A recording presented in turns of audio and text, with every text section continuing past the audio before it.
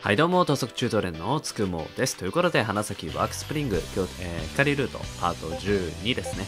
それからやっていきたいと思います。あいよロードなお兄ちゃん起きて起きて大どうした？大変な野中が朝から大当てで俺の部屋に走り込んでくる。一体何が？のトラミのカリカリが今日の夕方から数量限定で特売アイネコ、ドラミの餌、通称カリカリ。ドラミさんはグルメなので最,、えー最安の餌ではお気に召さないのだ。そのため、餌代が結構かかる。何時？4時大変だ。わかった。というわけですので、今日は帰ります。了解猫ちゃんのためだしねこの部って休むのに報告必要なんですか？別に必要ないよ。花咲くんはひかりちゃんに会うついでに私たちに報告しただけだと思うけど。あそうですよね。すみません。無粋なことを聞きました。その通りなので何とも言い返せない。アクターも今日は用事があるらしく帰ってる。お疲れ様です。ああ、光、ちょっといいか？はい周りの視線が気になるので、俺は光に小さな声で耳打ちする。ちょっと用事があるから、えー用事あるから帰るけど、終わったらいつもの時間頃に、えー通学路で待ってるから。それじゃあ、お疲れ様でした。お疲れ様お疲れ様です野中と一緒にトラミの餌を買い込んで終わってから荷物を置いて部活には行けないけど光に会いに光には会いに,、えー会いに行こう。よしまずはこの戦いを勝ち抜かなければ。えっと。先輩言っちゃった。えっと。ひかりちゃん？どうしたの？えっとゆうま先輩どうしたのかなって。家で飼っている猫ちゃんの餌の特売があるんだそうですよそうなんですかそれじゃあ今日はもう会えないのかなちょっと寂しい私もお手伝いしますってついていけばよかったかなまた、えーまた少し心が痛む。私、また。どうしよう。こんなことずっと繰り返すの。ひかりちゃん？どうしたの？すみません。すぐお茶入れますね。いやお茶はいいんだけどひかりちゃん何かあった？お茶何がいいですか？今日はちょっと苦めのクッキーにしてみたので甘いのがおすすめで。私は言いながらカップを取ろうと棚に手を伸ばす。手が滑ってコップが床に落ちる。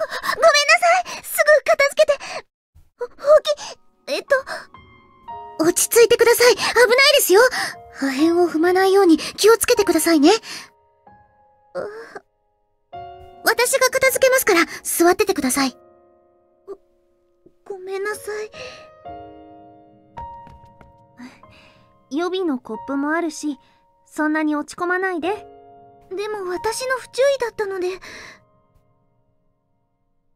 私が気をつけていれば壊れなかったのに。考え事をしていて全然集中できてなかった。座ってて。いつもやってもらってるし今日はいのりちゃんと私が準備するから。すみません。知らない先輩がコップを片付けてクオン先輩が紅茶を準備してる。自分だけすることがないっていうのは少しだけ寂しい。余計なことを考えてしまう今までも少しずつ見なかったふりをし続けただけで気づかなかっただけできっとこれからも私は同じことを繰り返していく。未練が増えていったら幽霊さんはどうなっちゃうんでしょうか？後悔はこれからも増えていく。幽霊はいつまでも幽霊のまま。ひかりちゃんやっぱり花咲くんと何かあった？あえっと私何か言ってました？よく聞こえなかったのですが未練とか幽霊とか。知らない先輩はそう言ってクオン先輩が入れた紅茶を私の前に出してくれる。なんか変なこと言っちゃったみたいですみません。大丈夫です。ちょっと寝ぼけてたのかな？寝てたのかもなんて。ひかりちゃん無理してない？言ってもいいんだからね。一人で抱え込んじゃダメだよ。クオン先輩。悩んでいるのって花咲くんのこと？違います。ユーマ先輩はすごく優しくて私のことを大事にしてくれて私が悪いのです。でも大したことではないので。寿さん。二人の視線が少しだけ痛いすごく心配してくれてるのはわかる。だけどこればっかりは言えない。私はクオン先輩の入れてくれた紅茶を飲む。紅茶すごく美味しいです。クオン先輩ありがとうございます。忘れてました。クッキー食べてください。ひかりちゃん。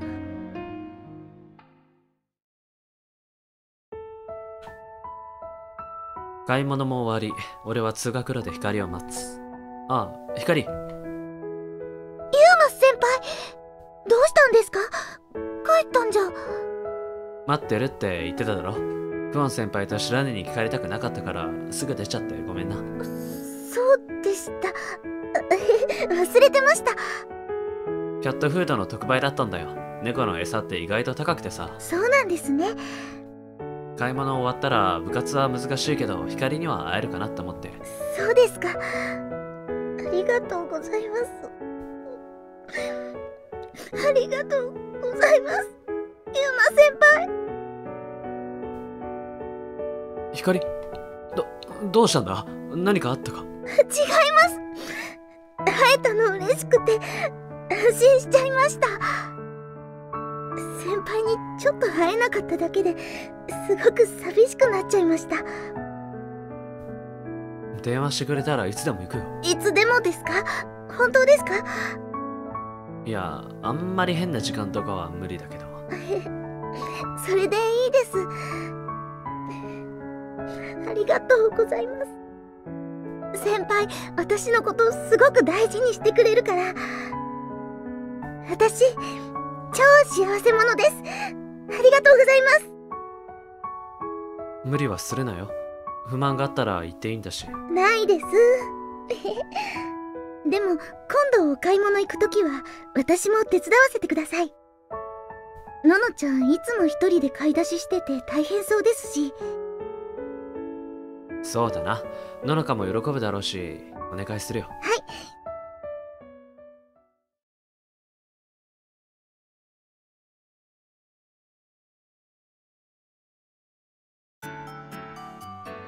お疲れ様です。あ花咲くんちょっといい？部室に入るなりクオン先輩に呼び止められた。はい？何ですか？昨日部室を出た後ひかりちゃんに会った？えはい。会いましたけど。昨日の帰り道と今日の朝も少し会ってる。それがどうかしたんだろうか？昨日部室でひかりちゃんがなんだか元気なくて。元気がない。何か考え込んでる様子でしたあなたと何かあったとは言ってませんでしたが気になって。それってどういう感じだ？何と言えばいいんでしょうか。いつもの寿さんとは違ってて悲しいとか落ち込んでるとかそういう感じじゃないんですよ。私もそう思った、うん、元気がないっていうか思い詰めてるっていうか。思い詰めて昨日の光の様子を思い出す。俺に会って光は涙をこぼしていた。嬉しかったって言ってたけど。それでもなんだか様子がおかしかった。昨日何かあったんですか？これ聞かない方がいいですか？えっと。クオン先輩は言いづらそうに視線をそらす。その時いつもの元気な声で光が部室に入ってきた。お疲れ様ですお疲れ様ひかりちゃん。あれ？皆さんどうかなさったんですか？いつもと違う空気を感じたのか光が首をかしげる。今日はいつもの光だ。元気で明るくて。でもやっぱりちゃんと聞いた方がいいだろうか。光ちょっといいか？はい。俺は光と一緒に1階へと向かう。先輩どうかしましたか？なんだか怖い顔してます。怖いかな。そんなつもりないんだけど。グオン先輩と白縫が昨日光の様子がおかしかったってすごく心配してたから。はい。言われるのは覚悟していたと言うとでも、えーしたと、えー覚悟していたとでも言うように光はあまり驚かずにうなずく。昨日俺に会った時もちょっと泣いてたからさ心配になって。ご心配おかけしてすみません。クオン先輩といのりさんにも謝らなきゃ。何でもないのです。ちょっと昨日はなんだかナイーブになっちゃったというか。でも昨日先輩に会ったら全部吹き飛んじゃいました。ありがとうございます。何かあったわけじゃないのか。はい。何もないのです。でも私は時々こうなのです大したことじゃないのに落ち込むっていうか考え込んじゃうっていうかなんだかめんどくさくて申し訳ないです。めんどくさいなんて思ってないよ。だけど光は何かを俺に隠してる気がする。光が自分を卑下したり悲しそうな表情をしているのは今まで見たこともあって。昨日泣いてたのだって何か理由があるのかもしれない。なんか先週もこんなことあったのの光土曜日に両親がいないのを俺に言い出せなくて。そうでしたね。先輩すごく心配してくださいました。何でも聞くからなって言ってくださいました。私すごく嬉しかったです。でも今日は先週とは違うんだろう。それは。光が何かを悩んでいるのは本当で苦しんでいるのも本当だそれを俺には話せなくて無理をしているのも本当だろう。先輩。光無理してるんじゃないか？無理なんて無理してるわけじゃないです。そう思わせてしまってすみません。でも私そう俺じゃ力になれないか？じゃないです。そんなつもりじ光ゃ先輩私私は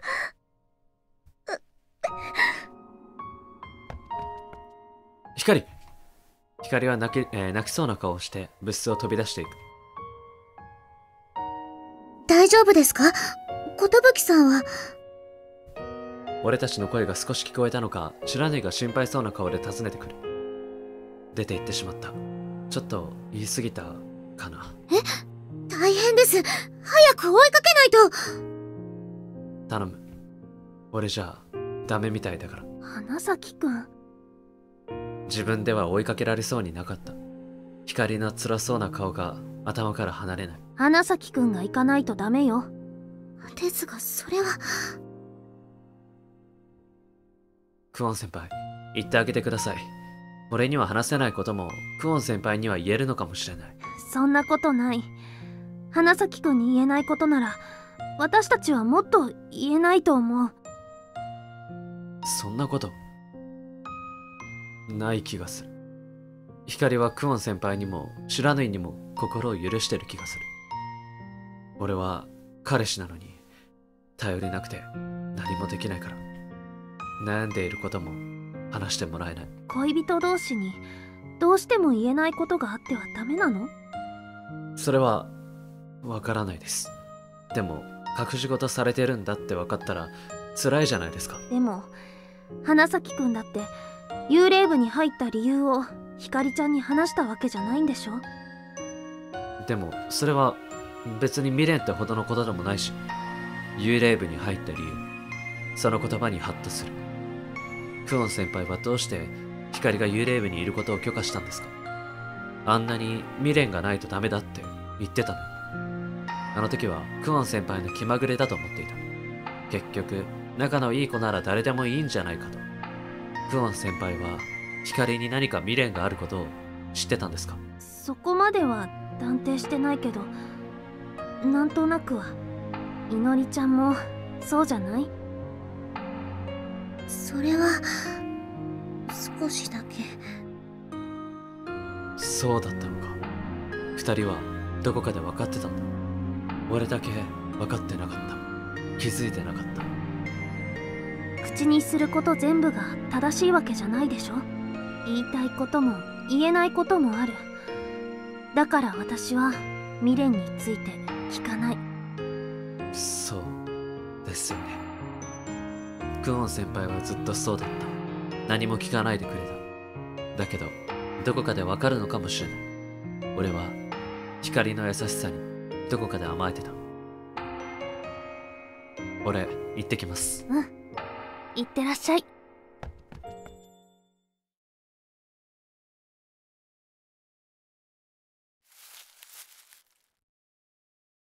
光は桜の木の下に立っていた。今はもう桜は散り青々とした葉が茂っている不足違反だぞ。先輩大丈夫ですよ。花はもう散ってしまっているから。そういうものなのか？多分ですけど。光は木を見上げる。1ヶ月前までそこには綺麗な桜が咲いていた。だけどほんの少しだけの期間。1週間もすれば葉桜になりかけてそうしてすぐ散ってしまう。どうして桜の木の下で立ち止まっちゃダメなんでしょうねクオン先輩に聞いたことはありますか？いや俺は聞いたことがないな。光の気持ちが聞きたくて。悪いと思いながらも嘘をつく。そうですか。私はちょっと聞いてみたんですが教えてもらえなかったです。死体でも埋まってるからかなと思ったんですが。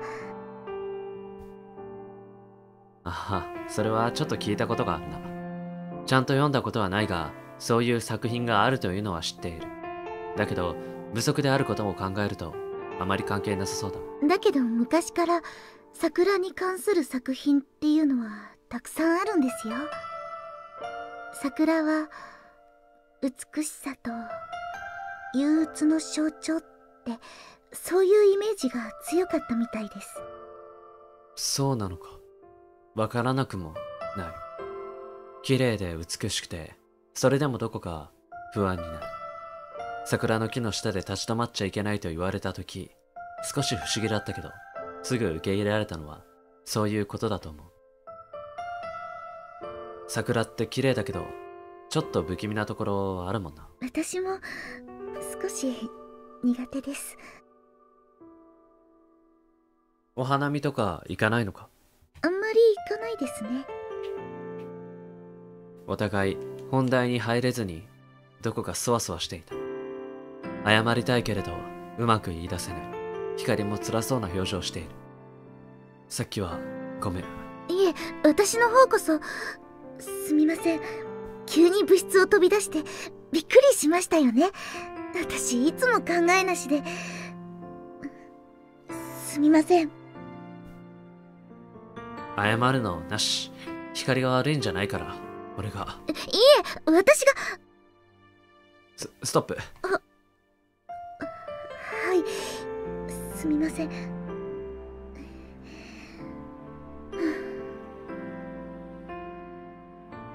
一度深呼吸をして光はまっすぐに俺を見た。私先輩が好きです。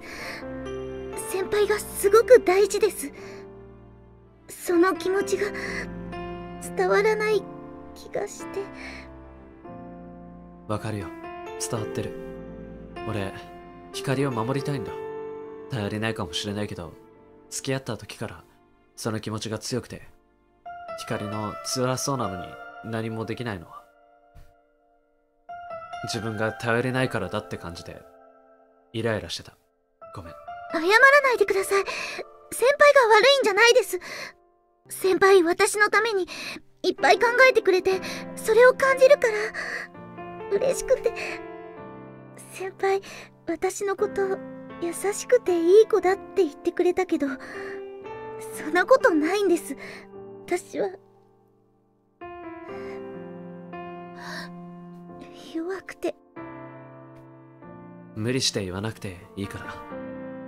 ここじゃなんだから部室に戻って少し話そう。はい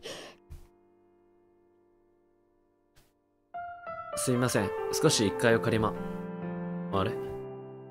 テーブルの上に何かメモが置いてある。おかえりなさい。どうでしたか？みんな帰ったみたいだ。誰もいないんですか？あテーブルの上に「今日は帰ります」というメモがあった。気を使って二人きりにしてくれたんだろう。どうする？俺たちも帰ろうか。あいえ。ここで大丈夫です。あの先ほどの話の続きなんですが私隠し事をしてるとかそういうわけではなくてああの大したことではなくて先輩にちゃんと話せないの申し訳ないんですがでも私えい。俺は光に近づき光の髪をくしゃくしゃと撫でる。ボサボサにされました！怒った怒ってはないです。でもびっくりです。ボサボサ光はしょんぼりしながら手ぐしで、えー自分の髪を整える。ごめん。俺がなんか余裕なかっただけなんだよ。光はそのままでいい。話したいと思ったら話してくれ。俺は待ってるから。ユーマ先輩。さっきさクオン先輩に怒られたよ。恋人同士だって全部話さなきゃいけないってことないんだ。光が大事で俺光のために何かしたいって気持ちがどんどん強くなって一人で焦ってた。光は自分を弱いって言うけど俺にとってはやっぱり眩しいっていうかしっかりしてて可愛くて何でもできて。光がすごいから俺はやっぱり少し焦る。いえ私も先輩の立場だったら同じように考えると思います。好きな人が辛そうだったら辛いですよね。だから私の方が申し訳ないです仲直りしてくださいますか？あ、もちろん。ごめんな。光の髪をそっと撫でると嬉しそうに目を細める。私こそごめんなさいユーマ先輩誰もいないんですよね？あ、じゃあ何も言わず、光はそっと目を閉じる。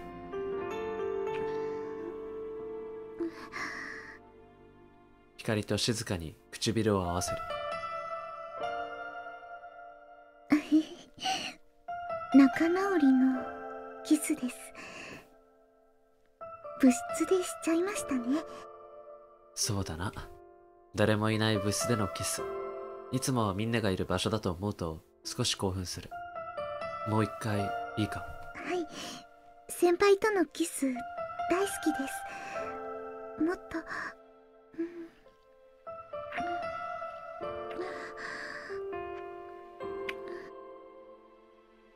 光の甘い吐息が当たって愛おしいって気持ちが湧き上がってくる。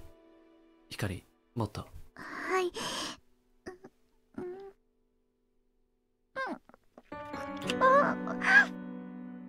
少し開いた口元に自分の舌をねじ込む。舌入れるのはダメです止まらなくなっちゃいますずごめん、光が可愛くて。ずるいですそんなこと言われたらダメって言えないですじゃあ、もう少し。自分の舌で光の口の中を蹂躙していく。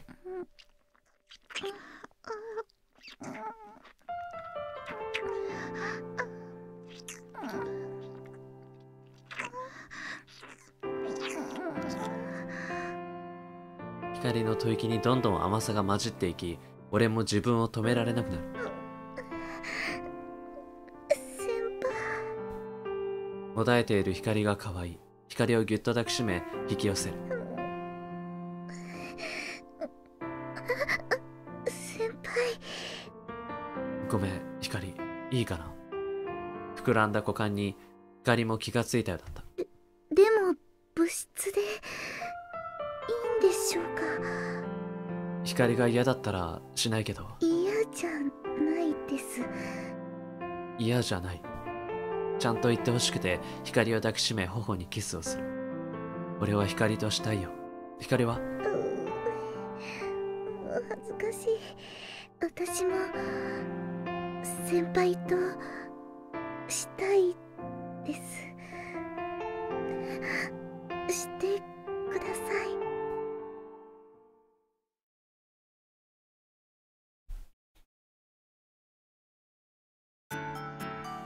日は本当に本当にすみませんでしたはい、ということで今回はね、以上にしたいと思います。よければチャンネル登録、高評価よろしくお願いします。では最後までご視聴ありがとうございました。